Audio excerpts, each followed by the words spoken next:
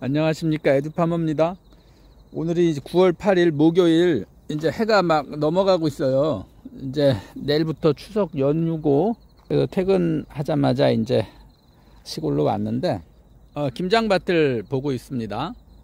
이 배추가 이제 지난번 태풍 때 온 그 폭우로 그냥 물이 엄청 많이 들어가고 그래서 막 연한 게 잎 색깔이 연한 게 우짜라고 막 그랬었잖아요 그래가지고 제가 이틀 전에 이제 여기 이 가장자리 비닐 멀칭을 이렇게 들어줬었고 여기다가 어, 무름병 방제를 했고 동영상으로 말씀을 안 드렸는데 그 이후에 짜람 방제를 위해서 이제 캔마그 칼슘제를 이렇게 좀 연면 시비까지 해줬어요. 어 이제 오늘 보니까 배추 잎 색깔이 아주 좀 짙어지고 어, 좀 단단해진 것 같습니다. 그때는 잎이 그냥 아주 좀 내랜 게 그냥 하늘하늘 거렸는데 이렇게 어, 색깔도 짙어지고 어, 괜찮아요.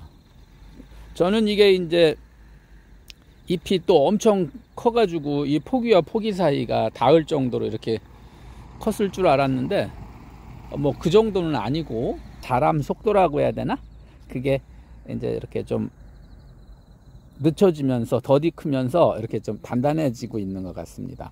그 다음에 어, 제 동영상에 이런 댓글을 주신 분이 있어요. 배추의 뭐 잎끝이 뭐 노랗게 마르는데 그게 무름병이냐 아니면 뭐, 뭐 노균병이냐 이런 질문을 하신 분이 있는데 이제 보지를 않아 가지고 무름병이면은 이렇게 잎끝만 노랗게 되지 않아요.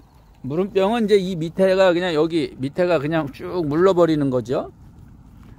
근데 요런 경우가 있을 수 있어요. 요거.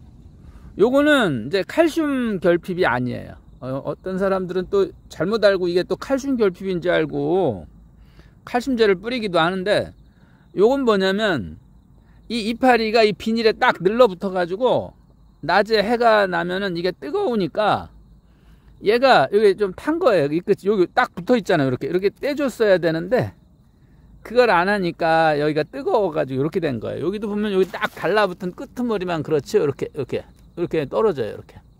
그래서 이거는 칼슘 결핍도 아니고 무슨 병도 아니고 어 그렇습니다. 그래서 이런 거 있으면은 다 둘러보시다가 이렇게 떼주면 좋아요.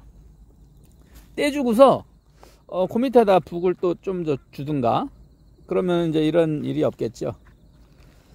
그 다음에, 어, 이제 이런 게, 노균병은 이렇게 끄트머리만 이렇게 되지 않아요. 노균병은 마치 이렇게 뭐라고 해야 되나? 이렇게 군데군데 증상이 이렇게 병증이 보이죠. 이런 식으로. 여기 이런 식으로 막 이렇게 보이죠. 어, 비가 지나가고 제가 무름병약만 방제를 하고 살충제까지를 할 새가 없어서 못했는데 이제 아우 이런 데는 이제 벌레가 또 낀 거예요 여기. 이거 이거 보면은. 여기. 이제 그 배설물도 있고 구멍이 이렇게 신초에 새로 나온 이파리에 이렇게 이파리가 이렇게 돼 있어 여기 보면 아 여기 있잖아. 새로 나온 이파리가 이렇게 뚫려 있으면 그거는 이제 벌레가 갉아먹는 거거든요. 여기 보시면 요 조그만 얘가 얘가 이제 요걸 갉아먹는 거죠. 여기다가 이제 방제를 하면은 죽기야 죽겠지만 아무튼 오늘 제가 와서 보면서 이렇게 아이고 또, 유, 또 유기농으로 하시는 분들도 있잖아요. 이거 잡아 주셔야 돼요. 안 그러면은 이거 갉아먹고 이 가운데 요 안에를 완전히 생장점 있는 데를 다 갉아먹으면 이 배추는 이제 어, 못 써요. 이 겉에 이파리만 있고 안에가 없으면 이제 그냥 이 배추는 생명이 끝난 거예요 그러니까 가에 갉아 먹는 거는 뭐뭐 뭐 괜찮아요 이거는. 근데 요 안쪽을 잘 보셔야 돼요 안쪽에. 근데 이놈들이 주로 요 안쪽에서 숨어 가지고 갉아 먹는 경우가 많죠. 아 저녁 때 왔는데 배추 배추가 이제 웃자람이 멈추고 이렇게 시커먼 게 어, 이파리가 두껍게 잘 크고 있습니다. 에듀파머입니다